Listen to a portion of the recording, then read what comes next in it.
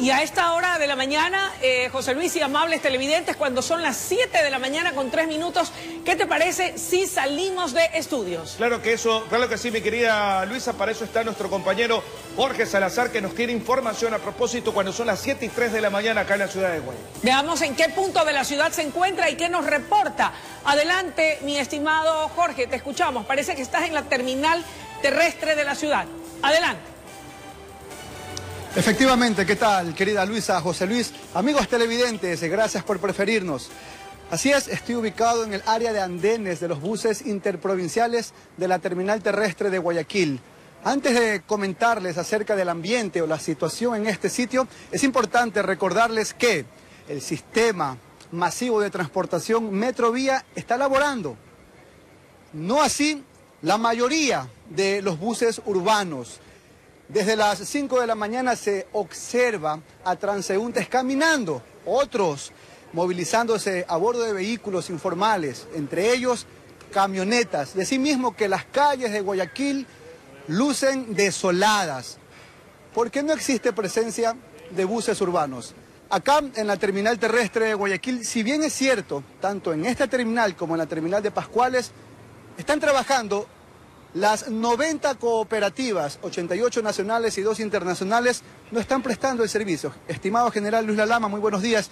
Recuérdenos las novedades que se han registrado en las vías de Guayaquil durante esta manifestación a nivel nacional. Sí, buenos días. Bueno, nosotros desde las cero horas eh, que estamos ya eh, activados con todo lo que es eh, las direcciones del municipio de Guayaquil y la ATM, no hemos tenido inconvenientes aquí en Guayaquil, en lo que tiene que ver eh, con las vías de Guayaquil. Eh, la transportación urbana pues no está eh, prestando servicio el, el, día de hoy aquí en Guayaquil, pero lo importante es que la metrovía con sus alimentadores están dando el servicio normalmente, todo su recorrido normal. unidades nuestras están lógicamente garantizando, dando seguridad a este servicio, y no solamente a la metrovía, sino también a unidades que se han sumado a movilizar personas, como son algunas furgonetas que hemos visto y bucetas que están haciendo este servicio. Lógicamente están las unidades nuestras pues dando esa seguridad a este tipo de vehículos. ¿Qué medidas va a adoptar la ATM eh, en contra de los dirigentes de buses urbanos interprovinciales que no estén trabajando?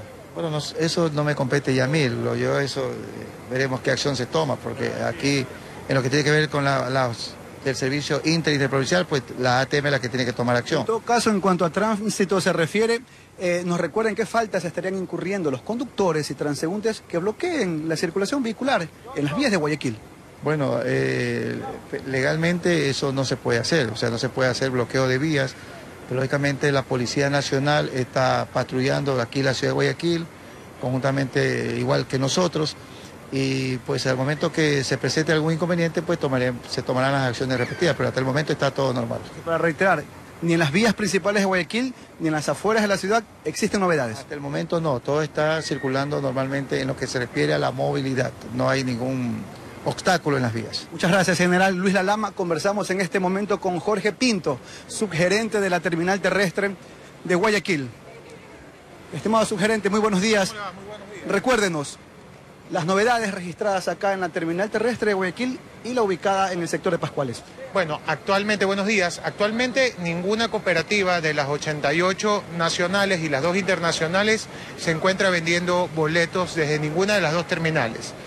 La terminal terrestre, y es importante informarlo a la ciudadanía, está completamente operativa, esperando a que si los transportistas deciden prestar el servicio público y no continuar con el paro, la terminal puede operar inmediatamente en cualquier momento. Sin embargo, muchos usuarios han acudido a la terminal terrestre de Guayaquil. Los negocios y eh, los locales que prestan servicios sí están trabajando.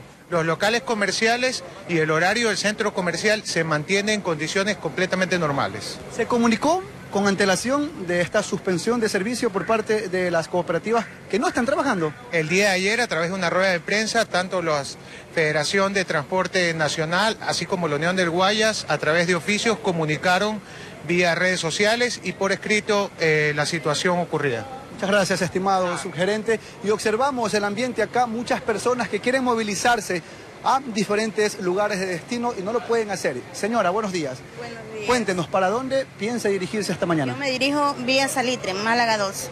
¿Desde qué hora tiene acá en la terminal y no puede Yo movilizarse? tengo desde las seis y media de la mañana. ¿Qué le han dicho y qué piensa hacer? Que no va a haber, no va a salir ningún carro. Ahora, No sé, mi jefa me está esperando y no sé qué hacer. gracias. Gracias.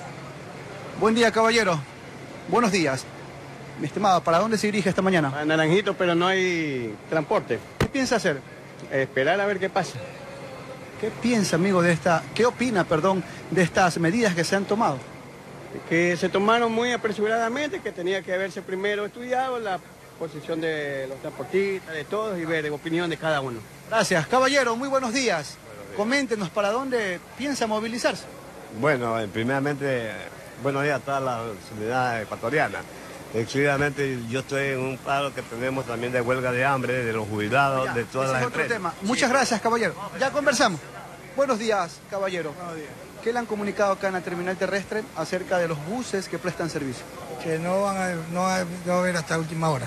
¿Cómo se va a movilizar? ¿Para dónde se dirigen? A San Carlos, a trabajo. ¿Y ahora? Ya comuniqué al, al- al supervisor que yo no, no te puedo llegar. Buenos días, en su caso. Yo voy a viajar a- al oriente, pero no hay bus porque este Lenín Moreno... A ver, cuidado. Listo, está bien. Muchas gracias.